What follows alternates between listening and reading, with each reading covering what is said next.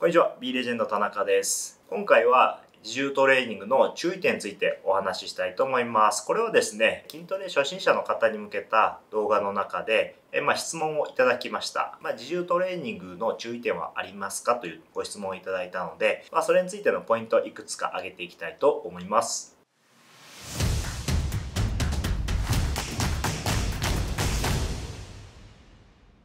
まずですね、自重トレーニングであってもですね、ウエイトトレーニングとかと基本的には考え方は一緒で良いと思います。正しいフォームで徐々に負荷を増やしていく。で、バランスよくトレーニングを行うというところが大事になってくると思います。ただ、まあ、自重トレーニングだとおそらくま家で行われてると思うので、正しいフォームっていうのがね、なかなか身につけるの難しいと思います。できれば、まあ、近くにフィットネスクラブとかパーソナルジムがあるのであれば、まあ、最初の1回ぐらいは正しいフォームを見てもらうと。アドバイスもらうとであとはやっぱり体の使い方の癖とか姿勢の癖とかですね強いとこ弱いとこそれぞれこう体に個性があるので、まあ、その辺もアドバイスしてくれるジムがあるとすれば、まあ、そこは多分パーソナルジムだと思うのでそういうところに行って少し分析をしてもらうっていうのもおすすめかと思いますじゃあ実際に自重トレーニングを行っていくとなった場合に、まあ、徐々に負荷を増やすとなるとウエイトトレーニングだと重りを増やしていくっていうところになると思うんですけど、まあ、自重トレーニングだと重りを増やすわけではないのでどうやって負荷を増やしていくかっていう視点が、まあ、1個大事になってくると思います。例えば腕立て伏せであれば最初は膝つきで行う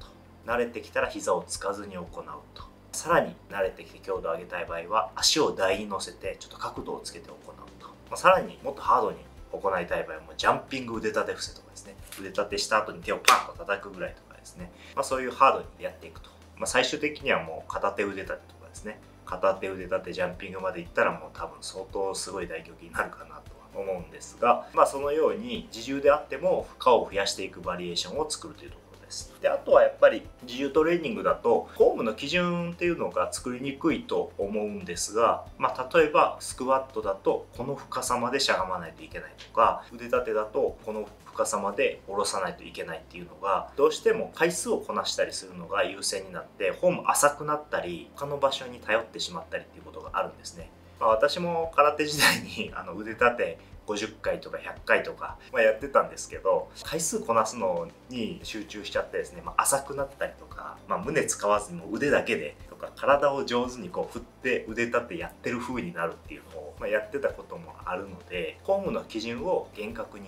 するというのを徹底すれば良いかなと思います、まあ、もう一つ重要なポイントとしてはバランスよく鍛えるっていうところだとは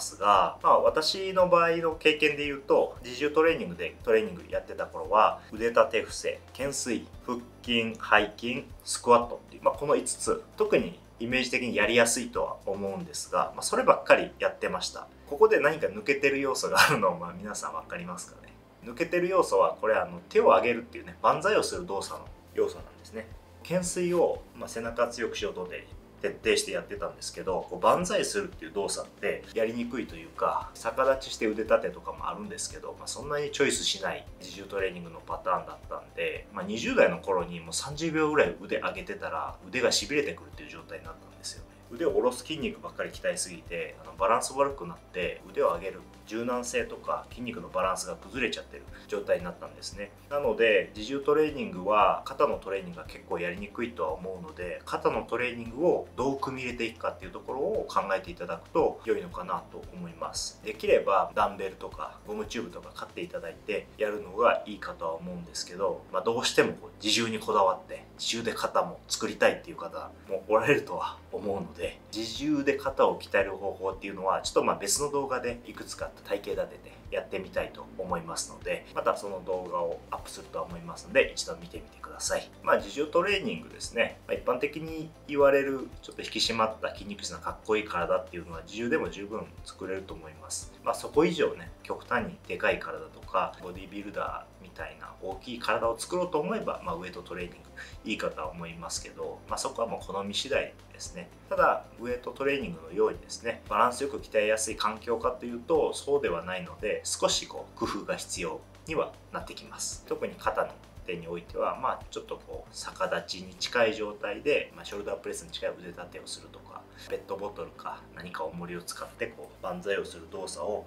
組み合わせていくっていうのだけ忘れないようにやっていただければいいかなと思います重トレーニングでも十分かっこいい体は作れると思いますので、まあ、上手に負荷を増やしながらですね体を変えてみてください頑張ってくださいそれでは参考になった方グッドボタンチャンネル登録よろしくお願いします。B レジェンドの公式 LINE では毎日お得な情報を配信しています。B レジェンドでは毎月新商品を発売しています。お得なセールも行っていますので概要欄からチェックしてください。それではありがとうございました。またお会いしましょう。